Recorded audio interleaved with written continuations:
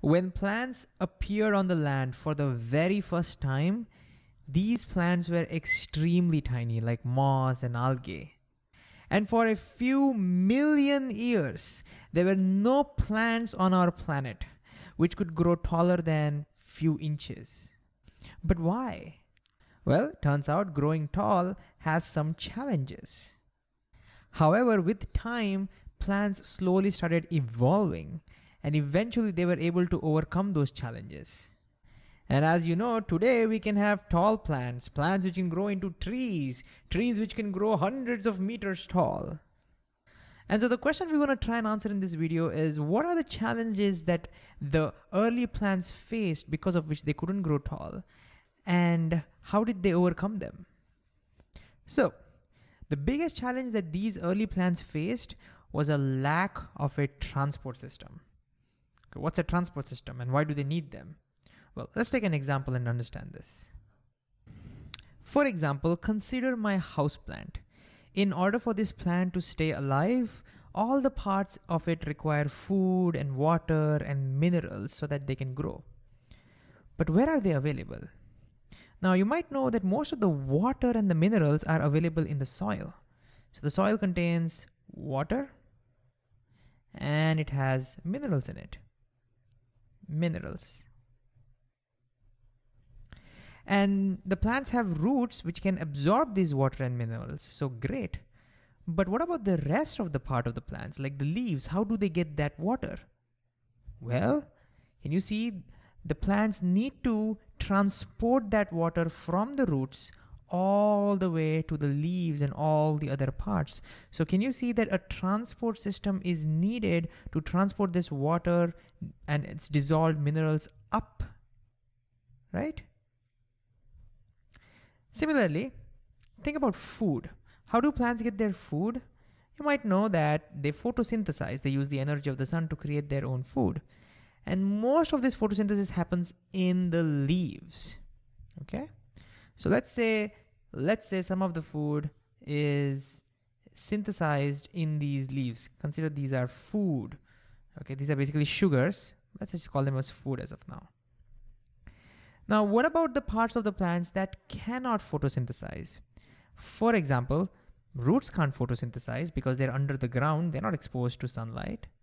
There may be certain growing parts of the plant which might require this food because they cannot photosynthesize. Maybe there are some leaves somewhere which are in absolute shade and because of which they are not able to photosynthesize. So again, what to do? We need a transport system the food needs to get transported to the different parts. So again, the food needs to get transported down maybe to the root sometimes. It might have to get transported up to some other parts. So can you see a transport system is necessary without which these plants cannot survive. And the earlier plants didn't have a transport system and therefore they were very tiny. The thing is, if you are very tiny, then this transportation happens just by diffusion. Diffusion is a process in which stuff moves from a region of high concentration to lower concentration.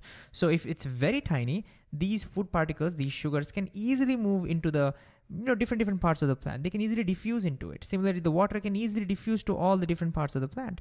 But as the plants get taller, then diffusion becomes super slow and it almost becomes impossible to transport it just by diffusion. This is where specialized transport system is needed. And so Eventually, plants evolved these transport system. Today, they are called as vascular tissues. So the transport system evolved are called vascular tissues.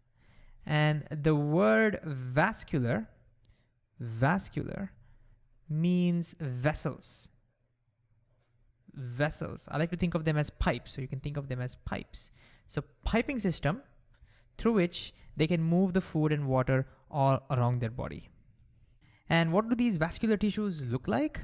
Well, just like the name suggests, they look like pipes. So pipes which start from the roots. So let me show you the roots. And so pipes that start from the roots and go all the way to each and every leaves. I've not shown it for all the leaves, but it goes to each and every leaves. But wait, you may be thinking, how can we use one pipe to transport both food and water? Won't they get mixed up? Well, to make sure they don't get mixed up, we have two separate piping systems, one for water and one for food. And we give them names. So the piping system that we use for water is called xylem. So xylem transports water and the dissolved minerals. Okay, when we say water, it already has dissolved minerals. And for food, we have another tissue called phloem. Oops, it's phloem. And this one transfers, transports food, mostly sugars, but it can also transport other things like hormones, amino acids, and other stuff, but mostly, mostly food. And the way I, I, like to remember this, I remember watching this in some YouTube video. I like to remember this as F for food and F for phloem. So food, phloem, F, F. And another reason why they have to be separate is because if you look at water, the water transport is only one direction, up. Can you see why?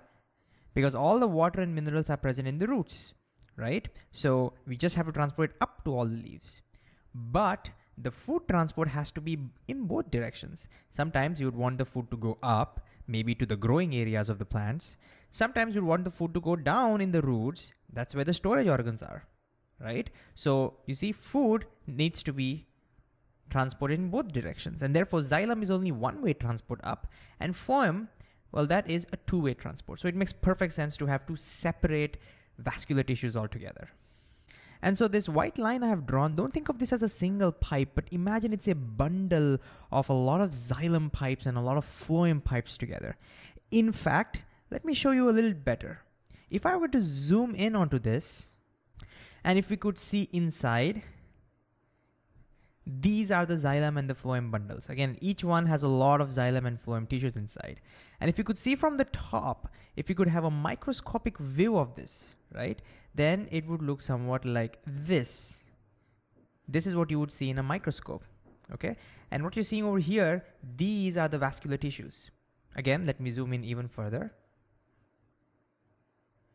So if you zoom in one of these parts, you can see a lot of a lot of round things over here. These are the xylem. Let me just mark them.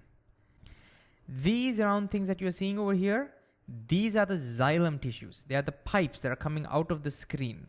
Okay, think of it that way. They are the one that transport water, these over here. And then you can see pipes over here as well. You can see small, small round things over here as well. They are much thinner than xylem. These are the phloem. Okay, in between you have other cells, but these are the phloem. And so you can see a lot of xylem and a lot of phloem are bundled together along with some other supporting cells as well.